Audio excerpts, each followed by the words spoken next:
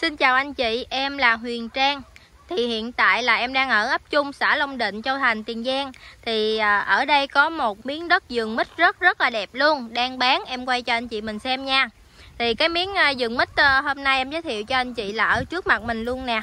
Vườn mít này là đã có quê lợi luôn rồi ha anh chị. Thì trước tiên em sẽ giới thiệu về con đường đi trước. À, Con đường này thì... Bề ngang cái khúc mà nhỏ nhất là khoảng 1m8 có có cái khúc mà rộng rộng thì nó được khoảng à, 2m2 thì uh, trung bình thì con đường này là đường xe máy thôi. Đường này thì uh, đủ để uh, hai chiếc uh, xe máy uh, đi qua lại thôi nha anh chị. Chứ mà ô tô thì vô không có tới.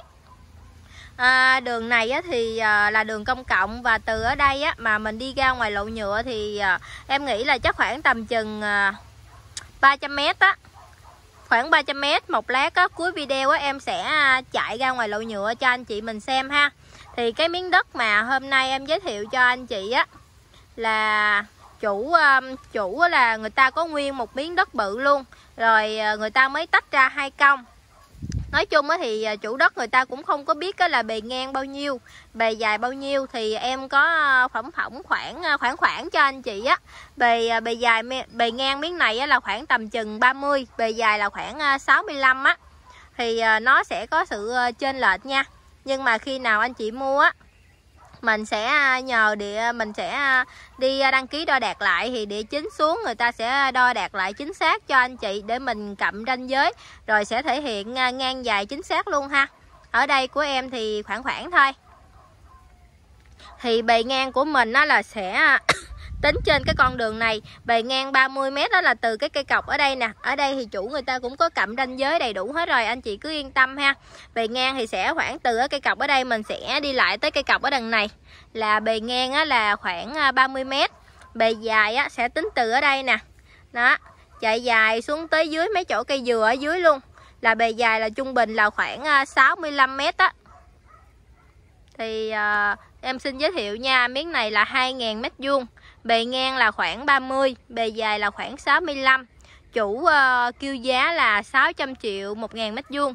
Bây giờ uh, em sẽ ờ, dẫn anh chị mình uh, đi tham quan cái miếng đất của mình ha. Ở dưới uh, cuối đất uh, thì uh, có vô nhà của hàng xóm nè. Đó có nhà của hàng xóm đây.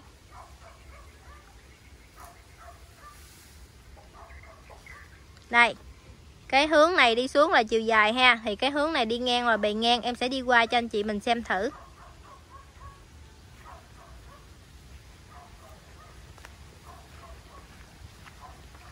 Đây là cái ờ, miếng vườn dừa. Lúc trước em có đăng lên bán và em đã bán cho anh chị xong rồi đó.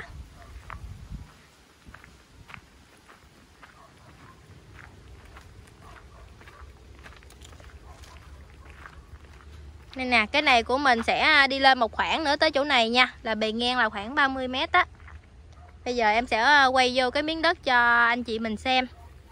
Thì à, em cũng à, nói trước nha để à, anh chị mình hiểu làm mấy anh chị nhà đất khác. Thì à, lúc trước á, chủ à, vườn á, có kêu miếng này là 700 triệu một ngàn mét vuông. Mà bây giờ thì à, nói chung người ta kẹt tiền á, thì người ta giảm giá xuống là còn 600 nha anh chị hiện tại giá là 600 triệu một ngàn mét vuông á. À, trong vườn của mình á, là sẽ à, trồng bưởi với à, à, mít. Mít này thì à, cũng lớn rồi mỗi một cây đều sẽ à, cho quê lại hết. Đất thì à, chủ đất người ta mới vừa xịt cỏ anh chị. Nè người ta mới vừa xịt cỏ xong nè. Em sẽ à, đi thử một clip cho anh chị mình xem ha ở đây thì em thấy trung bình cái à, miếng vườn mít của mình là sẽ có khoảng 4 lít nha. Này. Đây nè. Từ ở ờ, clip một clip là ở bên này.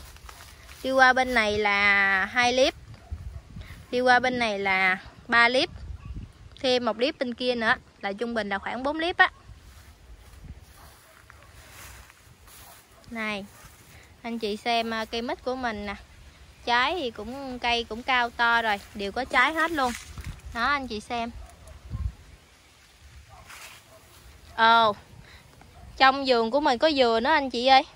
Dừa có dừa nè dừa có bưởi nè dừa có mít nữa. Đó anh chị xem. Rất là đẹp ha. Anh chị nào à, thích về quê làm nhà vườn thì mình có thể à, mua miếng này.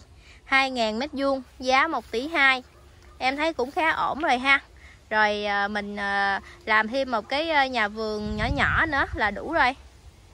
Đây mỗi một cây đều cho quê lại hết nha. Nè anh chị thấy là mít nè thấy không? Đó anh chị xem. Rất là đẹp ha. Em sẽ à, đi dài xuống cho anh chị mình xem luôn. Trong đất của mình thì sạch đẹp không màu mã gì hết. À, bên nhà hàng xóm thì mới có thôi nhưng mà nó cũng ờ, cách đất mình một khoảng lần anh chị ơi. Đây nè à, cái cái giường của mình thì tới cái chỗ mà xịt thuốc cỏ ở đây thôi còn bên kia là à, cái đường vô nhà của hàng xóm rồi thì này bên nhà hàng xóm thôi. À, không có vấn đề gì hết bình thường. Rất là đẹp ha. Ở đây thì không khí thì rất là trong lành mát mẻ. Nó anh chị xem nè. Ở đây là dùng đất nước ngọt nha không bị nhiễm phèn mà không bị nhiễm mặn luôn mình trồng cây trái gì cũng tươi tốt hết á. Anh chị thấy là cây mít nè trời nó cho trái rất rất là nhiều luôn ha. Đó. mấy cái trái này uh, uh, sau này chủ người ta cũng sẽ ngắt đi thôi để cho cây mình nó chừa lại một hoặc hai trái thôi. Cho nó không bị si cây á anh chị. Nó rất là đẹp. Bưởi cũng tươi tốt nữa này mình à, đất của mình sẽ chạy dài xuống tới cây dừa luôn. Em sẽ đi một hơi xuống cho anh chị mình xem.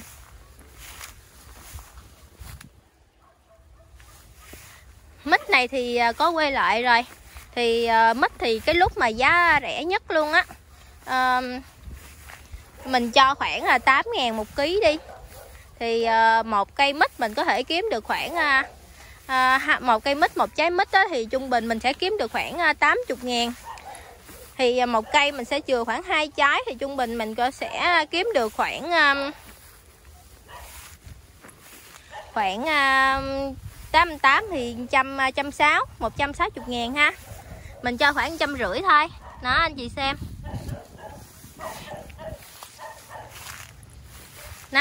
À, tới đây là cuối à, cuối giường rồi anh chị. Mấy mấy dưới này nè. Nó có hàng rào sẵn hết em để ý thấy là cái miếng giường của mình là có hệ thống tưới tiêu đầy đủ luôn anh chị xem nè đó.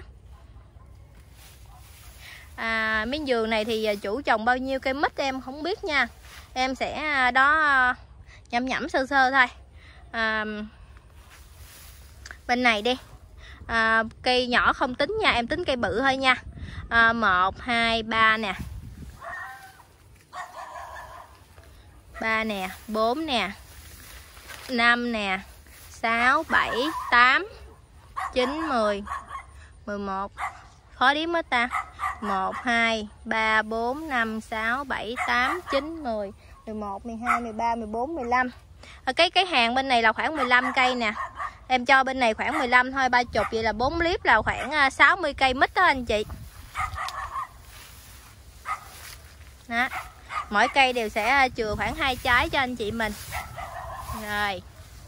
Bây giờ em sẽ à, mở định vị lên cho anh chị xem ha. Đất thì à, vuông rất sạch đẹp. Ở đây có trồng bưởi nữa.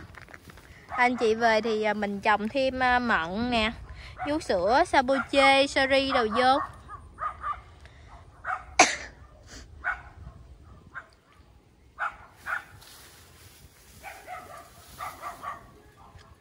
à, đất của mình đất của mình là hướng tây nam nha nghiêng về hướng tây nhiều hơn. Đất của mình là hướng tây. À nếu như mà anh chị tính theo cái con đường á là hướng tây. Còn nếu như anh chị nào mà không hợp uh, hướng với con đường á mình có thể uh, uh, giống như nhà hàng xóm nè anh chị xem nhà hàng xóm nè thì nhà hàng xóm á là người ta xây nhà theo hướng uh, hướng nam á anh chị. Tùy nha anh chị muốn xây nhà theo hướng nào cũng được hết đó tùy anh chị mình có thể chọn à, hướng Tây Nam hoặc là hướng Nam cũng được.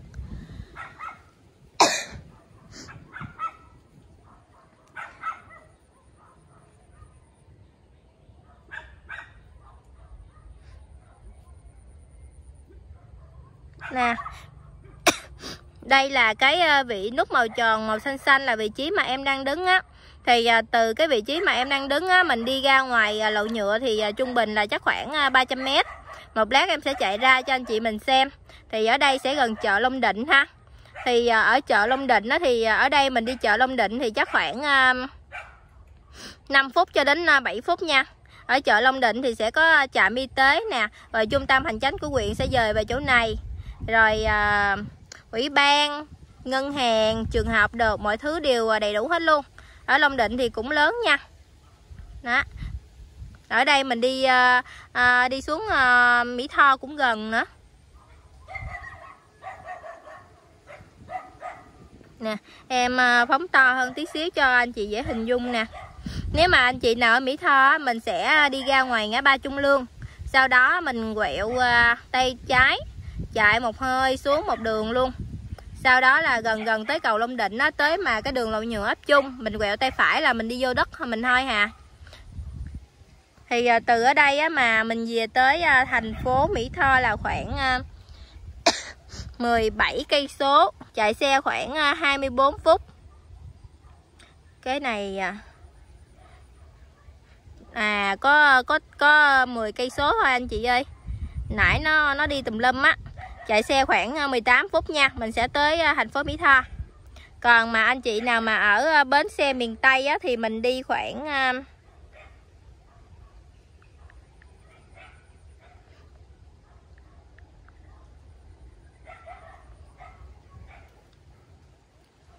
à, từ ở đây á mà về bến xe miền Tây của thành phố Hồ Chí Minh thì khoảng một tiếng rưỡi nha 61 cây số anh chị đi à, cao tốc thì nó sẽ à, nhanh hơn nữa. Rồi em sẽ à, phóng to cái chỗ này lên cho anh chị mình xem.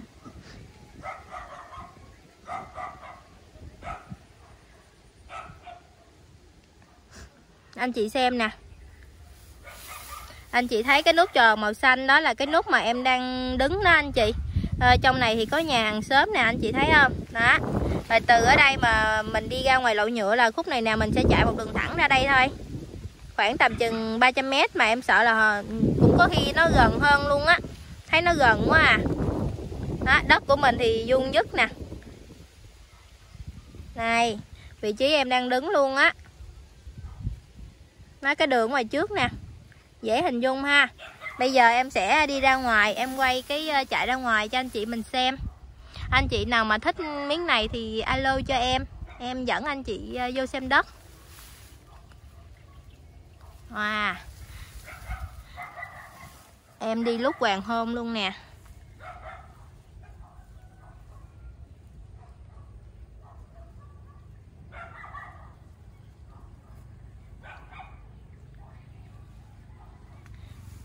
Đi ra cho anh chị xem thôi ha mình đi bên này đi. Ê ê. Trời, bị lọt hố anh chị. Hơn là chỗ này nó không có nước. À, bên này hố nhiều quá đi qua đây đi.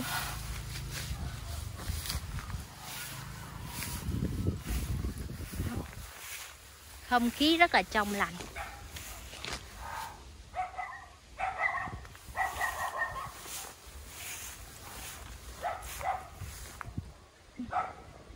Miếng giường rất là đẹp luôn. Vô là ưng liền anh chị ơi. 600 triệu 1 ngàn mét vuông.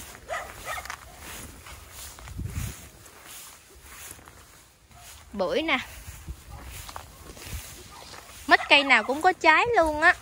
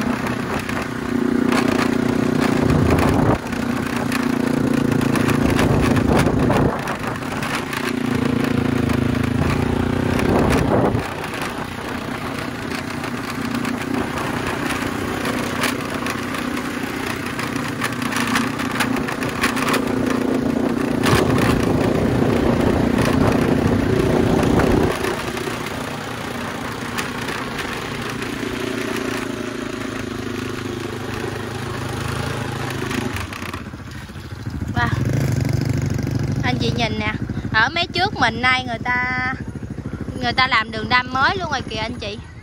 Hả? Bên kia em thấy có ờ, làm đường đan rồi kìa. Đây, ở đây là ở ngoài trước ờ, lậu nhựa nha.